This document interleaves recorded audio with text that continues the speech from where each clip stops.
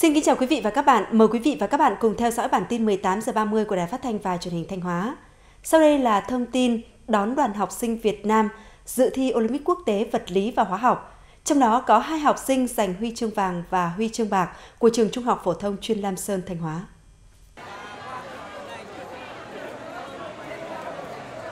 Thưa quý vị và các bạn, hiện tại thì tôi đang có mặt tại sân bay Nội Bài cùng với đoàn đón học sinh và các thầy cô trở về từ các cuộc thi Olympic quốc tế. Và đứng bên cạnh tôi ngay lúc này là bạn uh, nhân vật chính của chúng ta. Uh, em có thể cho chị biết cái cảm xúc của em ngay lúc này không? Ờ, em cảm thấy ờ, rất vui khi là đã đem về được vinh quang cho uh, nhà trường nói riêng và cả nước cho nước Việt Nam mình trên đấu trường quốc tế nói chung. Được huy chương trong kỳ thi quốc tế thì là một điều hết sức tuyệt vời và em cảm thấy tự hào việc đấy và khi mà được trở về uh, được sự chào đón của bạn bè của thầy cô của gia đình cái này em rất là hạnh phúc ạ. Trong kỳ thi Olympic vật lý quốc tế 2018 tại Bồ Đào Nha, Nguyễn Ngọc Long, học sinh lớp 12 chuyên lý, trường Trung học phổ thông Lam Sơn đã xuất sắc giành huy chương vàng vật lý với số điểm cao nhất đội tuyển Việt Nam còn tại kỳ thi Olympic hóa học quốc tế lần thứ 50 tổ chức tại Cộng hòa Séc và Cộng hòa Slovakia, Nguyễn Văn Chí Nguyên, lớp 11 hóa, trường Trung học phổ thông chuyên Lam Sơn cũng đã giành huy chương bạc. Thưa quý vị, thưa các bạn, theo thông tư 15 của Bộ Y tế, từ ngày 15 tháng 7 năm 2018, có tới 77 dịch vụ y tế được điều chỉnh giảm giá so với trước đây, với mức giảm trung bình là 17%. Sau đây là ghi nhận của nhóm phóng viên thời sự về thực hiện giá dịch vụ ở các cơ sở y tế trên địa bàn tỉnh. Giá một lần nội soi tai mũi họng từ 202.000 đồng giảm xuống còn 100.000 đồng. Giá một lần chụp cắt lớp vi tính, chụp mạch, cộng hưởng từ CT scanner có thuốc cản quang từ 2 triệu 266 nghìn đồng giảm xuống còn 1 triệu 689 nghìn đồng. Đó là hai trong số các dịch vụ có tần suất khám chữa bệnh thường xuyên được giảm giá tới 50%. Còn lại, gần 70 dịch vụ và kỹ thuật, xét nghiệm, bình quân giảm từ 6 đến 24%. Thông tư 15 được đánh giá là bước ngoặt quan trọng trong lộ trình tính đúng, tính đủ giá dịch vụ y tế, làm tăng quyền lợi của người sử dụng bảo hiểm y tế. Nhưng đa số các bệnh nhân đều chưa nắm được cụ thể việc điều chỉnh giá, bởi đây là phần do bảo hiểm y tế chi trả. Đi khám bên đây thì dịch vụ trên đây thì tốt hơn, nhưng mà em không biết là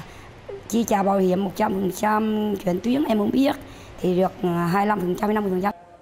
Việc điều chỉnh giảm giá các dịch vụ y tế có những tác động nhất định tới các cơ sở y tế có số lượng bệnh nhân lớn, làm cho các khoản thu của các cơ sở giảm đáng kể.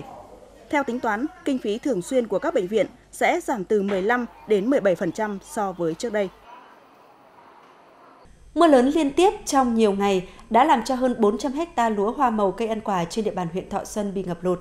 Huyện đang huy động nhân lực, vật tư, khẩn trương khôi phục sản xuất sau ngập úng. Huyện Thọ Xuân đã phân công các thành viên xuống cơ sở chỉ đạo hướng dẫn người dân khắc phục thiệt hại, khôi phục sản xuất, chăn nuôi sau mưa lũ, huy động máy móc phương tiện khơi thông dòng chảy, tiêu kiệt nước trên ruộng. Tranh thủ thời tiết thuận lợi, bà con nông dân trong huyện cũng tập trung dựng, vun gốc, chấm dặm lại diện tích lúa và cây màu bị chết, sới sáo phá váng, sử dụng phân bón lá, chế phẩm kích thích qua lá, qua rễ, bón bổ sung cho cây trồng, vệ sinh đồng ruộng để gieo trồng lại. Động viên nhân dân tích cực chăm bón những cái diện tích còn lại, dùng các loại thuốc kích thích rễ và kích thích lá và phân bón chăm bón cho diện tích những cái vùng mà cao nó chưa bị ảnh hưởng lớn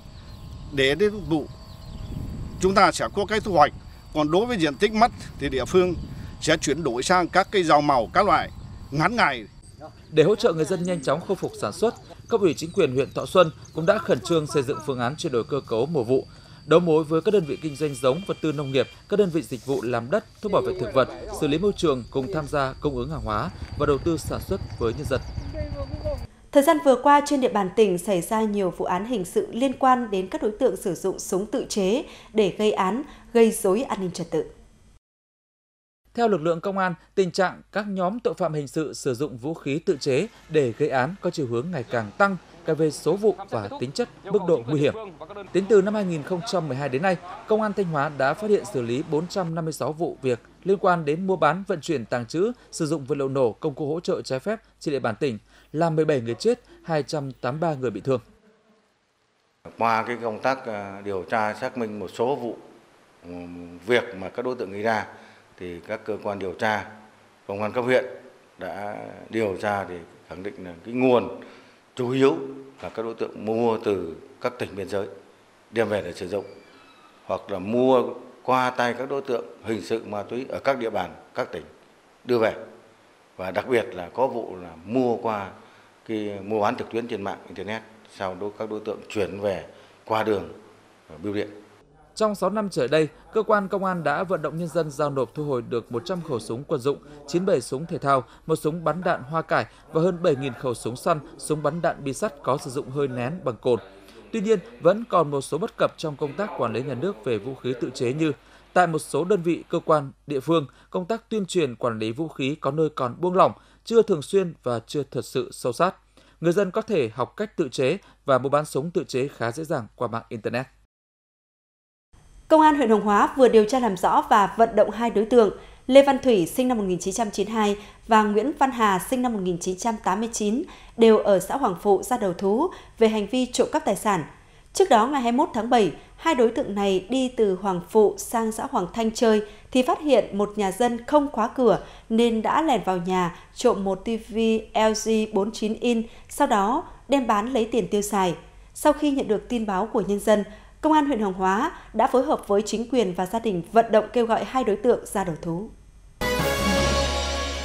Bản tin 18 giờ 30 xin được tiếp tục với những thông tin trong nước vừa được chúng tôi cập nhật. Vào khoảng 2 giờ 30 phút sáng nay, xe ô tô mang biển kiểm soát 75B00052 chở đoàn người đi rước dâu chạy hướng Quảng Trị đi Bình Định. Khi đến địa phận thôn Uất, xã Điện Minh, thị xã Điện Bàn, tỉnh Quảng Nam thì xảy ra va chạm với xe container đi ngược chiều lại. Vụ tai nạn làm 13 người tử vong tại chỗ, 4 người bị thương nặng. Lực lượng chức năng tỉnh Quảng Nam đang tham gia công tác cứu nạn, điều tiết giao thông và điều tra làm rõ nguyên nhân vụ tai nạn nghiêm trọng này. Theo Cục Cạnh tranh và Bảo vệ người tiêu dùng Bộ Công Thương, từ đầu năm đến nay, tài chính, ngân hàng, bảo hiểm là ba lĩnh vực mà người tiêu dùng khiếu nại nhiều nhất với tỷ lệ chiếm gần 38%. Phần lớn nội dung khiếu nại liên quan đến dịch vụ cho vay tiêu dùng với nhiều hành vi có dấu hiệu vi phạm quyền lợi người tiêu dùng như cung cấp thông tin không chính xác, không đầy đủ, gây nhầm lẫn, không cung cấp hợp đồng cho người tiêu dùng sau khi ký, thu hồi nợ mang tính chất đe dọa, gây áp lực ảnh hưởng đến uy tín, tâm lý của người tiêu dùng. 6 tháng đầu năm, Đà Nẵng đón hơn 76.000 lượt khách Nhật Bản, tăng 12% so với cùng kỳ năm ngoái. Hiện đã có hai đường bay thẳng với 11 chuyến mỗi tuần, đưa du khách từ Nhật đến Đà Nẵng. Tuy nhiên, bên cạnh vấn đề nhân lực du lịch, công tác quảng bá hình ảnh của Đà Nẵng với thị trường Nhật Bản còn yếu, chưa có những chương trình xúc tiến lớn của thành phố tại Nhật Bản. Do đó, số khách du lịch Nhật Bản đến Đà Nẵng vẫn khiêm tốn so với dòng khách từ các nước Đông Bắc Á khác. Từ đầu tháng 7 đến nay, nhiều hộ dân sống cạnh bãi rác ở xã Ngọc Sơn, huyện Quỳnh Lưu, tỉnh Nghệ An đã chặn đường không cho xe chở rác vào bãi rác Ngọc Sơn vì cho rằng bãi rác gây ô nhiễm môi trường, ảnh hưởng đến sức khỏe của người dân, khiến lượng rác thải sinh hoạt trên địa bàn huyện ùn ứ nghiêm trọng. Gần một tháng qua, người dân huyện Quỳnh Lưu đành đưa rác thải sinh hoạt ra ngoài đường, chờ bãi rác hoạt động trở lại. Hiện nay trên địa bàn các huyện miền núi của tỉnh Khánh Hòa, tình trạng người dân chạy xe máy không đội mũ bảo hiểm đang ngày càng tăng ở mức báo động. Dù địa phương đã tuyên truyền kêu gọi người dân chấp hành nghiêm, tuy nhiên hầu hết người dân ở đây đều chạy xe máy không đội mũ bảo hiểm gây nên tình trạng mất an toàn giao thông nghiêm trọng. Công an thị xã Buôn Hồ, tỉnh Đắk Lắk đang tạm giữ hình sự đối tượng Nguyễn Trọng Vĩnh, 27 tuổi, ở phường Tân Lợi, thành phố Buôn Ma Thuật, tỉnh Đắk Lắk để điều tra về hành vi trộm cắp dây cáp viễn thông. Từ cuối tháng 5 đến đầu tháng 7 năm 2018, Nguyễn Trọng Vĩnh đã gây ra 6 vụ cắt trộm trên 300 mét dây cáp viễn thông trên địa bàn thành phố Buôn Ma Thuật. Số dây cáp cắt trộm được, Vĩnh đem đốt lấy lõi đồng, bán kiếm tiền, tiêu xài cá nhân. Công an huyện Đức Phổ, tỉnh Quảng Ngãi đã khống chế và bắt giữ hai nhóm thanh thiếu niên ở huyện Đức Phổ, tỉnh Quảng Ngãi đang chuẩn bị hung khí và tập hợp đồng bọn thanh toán nhau. Tăng vật thu giữ tại hiện trường là hai cây mã tấu, một cây dựa bờ, một cây sắt vuông. Hiện vụ việc đang được điều tra xử lý. Quý vị và các bạn có thể xem lại bản tin 18 giờ 30 tại địa chỉ website truyền hình thanh hóa.vn. Thông tin phản ánh của quý vị và các bạn xin gửi về chương trình theo địa chỉ bản tin 18 giờ 30 ttva@gmail.com hoặc số điện thoại đường dây nóng 0888 25 3636. Cảm ơn quý vị và các bạn đã dành thời gian theo dõi bản tin 18 giờ 30 của Đài Phát thanh và Truyền hình Thanh Hóa. Xin kính chào và hẹn gặp lại.